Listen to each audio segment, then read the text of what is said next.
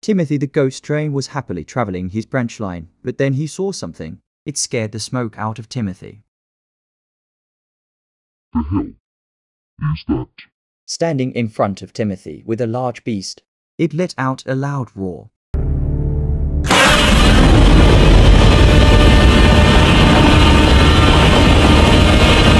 As soon all the passengers got into Timothy's coaches, Timothy got the hell out of there. Edward, Lady Henry, and Thomas were having a chat together.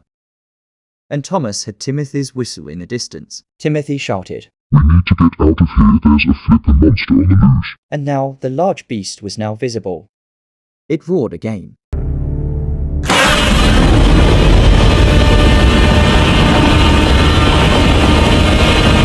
It let out a powerful beam from its mouth. But then another beast arrived on the scene.